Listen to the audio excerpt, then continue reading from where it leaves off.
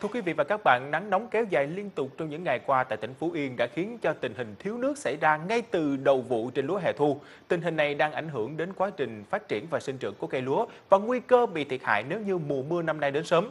Phản ánh của các phóng viên tại các vùng cuối nguồn nước thuộc hệ thống thủy nông Đồng Cam.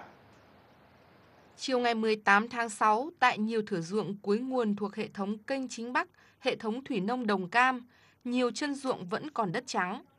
À, vâng, kính thưa quý vị và các bạn, chúng tôi đang có mặt tại một trong những xứ đồng của thuộc xã Hòa Trị, huyện Phú Hòa. Đây là xứ đồng nằm cuối kênh N3, à, một trong những xứ đồng thường xuyên bị chịu khô hạn. Và theo lịch sản xuất vụ lúa hè thu thì đến ngày mùng 10 tháng 6 thì toàn tỉnh phải gieo xạ xong. Tuy nhiên đến thời điểm hiện nay thì rất nhiều chân ruộng vẫn chưa có nước để gieo xạ. Tại xã Hòa Trị, huyện Phú Hòa, nhiều nông dân ra thăm đồng rồi lại thất vọng trở về. Đến lúc này vẫn chưa có nước để làm đất xuống giống. Nếu so với lịch thời vụ hè thu năm nay thì những diện tích này đã muộn khoảng nửa tháng. Việc xạ muộn đến cuối vụ, cây lúa dễ bị thiệt hại nếu mùa mưa đến sớm.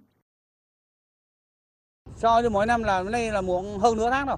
Chở miết vậy là cái đồng đây là cái đồng rọc sâu mà thu hoạch nay xạ là thu hoạch khoảng là, là, là, là cuối tháng 8 là cái cái cái bị mưa rồi nếu bị mưa là cá dây độc đây là hư hết năm nào cũng bị hư hết thời tiết mà nắng hạn giờ mình ráng chịu mà tưới làm được được có thôi làm sao với những diện tích lúa hè thu 2019 đã xuống giống thì gặp phải tình trạng nước sánh không được cấp kịp thời, chân ruộng nứt nẻ, cây lúa non khô héo. Hiện có khoảng 300 hecta thuộc các xã như Hòa Trị, Bình Kiến, Hòa Kiến, Đông Tây An Phú và An Chấn vẫn chưa có nước để làm đất xuống giống.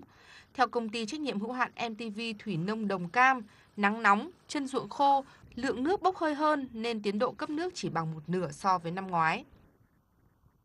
Do cái thời tiết là nắng nóng, rất là cực đoan.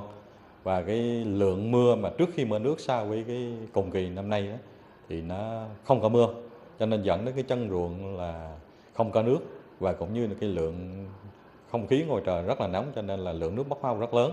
Cho nên trong quá trình đưa nước so với cùng kỳ năm trước thì chỉ có một nửa thời gian hạn hán rất căng thẳng. Cho nên công ty lắp đặt cái đường dây điện ở xi phong bến lội và đặt hai cái cái cái máy bơm là 22 là cái hai máy bơm này là cái công suất rất là lớn đó, để mà phục vụ công tác chống hạn và cũng chuẩn bị những cái máy móc thiết bị để cái phục vụ trong công tác chống hạn như là bơm cái nguồn nước giếng cũng như là cái những cái nguồn nước mà tận dụng những cái kênh tiêu để mà công ty tưới và phục vụ tốt nhất trong cái điều kiện nắng nóng hiện nay. Hiện nay, công ty trách nhiệm hữu hạn một thành viên Thủy Nông Đồng Cam đang tổ chức điều tiết ép nước về các vùng cuối nguồn. Ở các vùng nguy cơ cao tiến hành bơm chống hạn để cung cấp nước cho lúa hẻ thu. Trong ngày 18 tháng 6, hai máy bơm chống hạn đã được lắp đặt để bơm nước cấp cho các xã trên.